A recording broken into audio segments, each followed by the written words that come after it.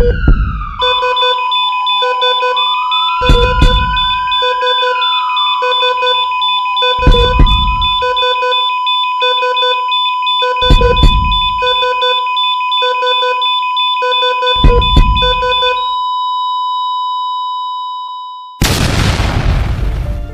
Mom. It's me. I just remembered you a lot. It's now 12 years since you transformed to heaven. Hey, I hope you're good there. I miss the little moments we shared together, despite the father mother fight that used to occur frequently. My brothers and dad are good, though there is a problem back at home. And mom, do you know we were never allowed to attend your burial? Or rather, we never got to see your send off. The only info I have about your death is that you got an accident in Kitengela, and that's where I went to see you today. Mom, do you also know that I also never got to see a single pic about your send off?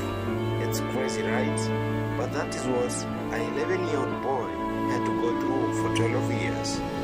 I'm now grown and a little bit famous at 23 years. I spend my moments to remember you. Bless any other mother that is not biological to me but decided to take your role in your absence. I've really gone through a lot and I'm trying my best to make you proud, Mama. I love you and I've always loved you despite whatever has ever happened between us. I know we shared little moment on this earth, but I wish you the best. Rest in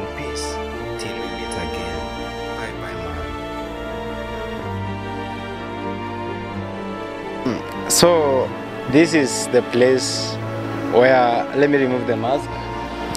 Um, this is the place where my mom got the accident. That is back 2012, and you know, it is a sad story.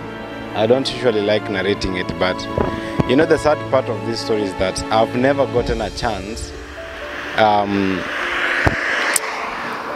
to go and witness the send off of my mother. You know, my mom died. We were not told where the where she was in the mortuary. We were not told when was the burial. But funny enough, we were ne- we never got the pictures during our burial, and so we never attended the burial.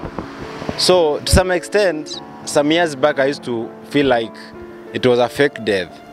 Until later, I went to where she was buried. Yeah, back to their mom because their family refused my mom to be buried where my dad used to be because as you know most african culture is that a wife is is buried where the husband is. So they refused that because they thought that, that they would be paid uh, with insurance. So this is the place where my mom got the accident. And it was in 2012 i was 11 years. Now i'm 23 that means it is 12 years later. Yeah? 12 years later this is the time i'm coming to see this place. Yeah? I had seen it before like two years ago but i said like one day i must come to this place. Because uh, you know i'm the first firstborn in our family and i don't want to make the matter so look like it's a big issue. Yeah losing a parent is not uh, something easy i know that. But uh, since i never i never went to my mom's burial i felt like me coming here and doing maybe something different or something small according to our culture would bring a difference. And that's what i've come to do in, in short you know. I don't know how it will appear to other people who are not from our culture yeah? This is not about african culture it's about a culture in our tribe yeah? And so that's what i've come to do today in the memory of my mom. Because uh, i had said i would do this in 10 years. But when the 10 years was over i was not able to do such a thing. But now that it is past 10 years it's good. I should celebrate it.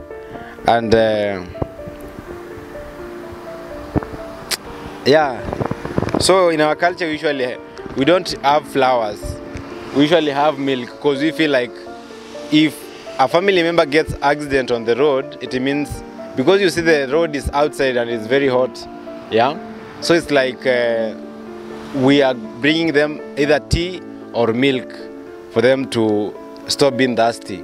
Yeah, so we usually pour the milk on the road. So that's what like I feel like I will do.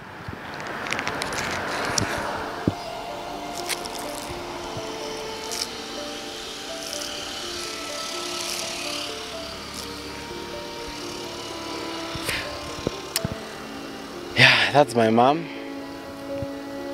Wherever she is, I think you should rest in peace. Because uh, I'm doing this in your memory.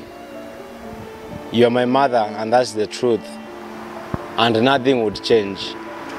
And forever, amen, nothing will ever change. I believe wherever you are, you can hear me. And if there's anything you can do about me, please do. But I'm, I'm, I'm assuring you that everything is going on well. And I'm trying my best as, a, as your first kid. I'm trying to make you proud. And uh, I've started seeing that it is possible. It's going to happen. Yeah? So that's it for my mother. I just know I love you and rest in peace till we meet again.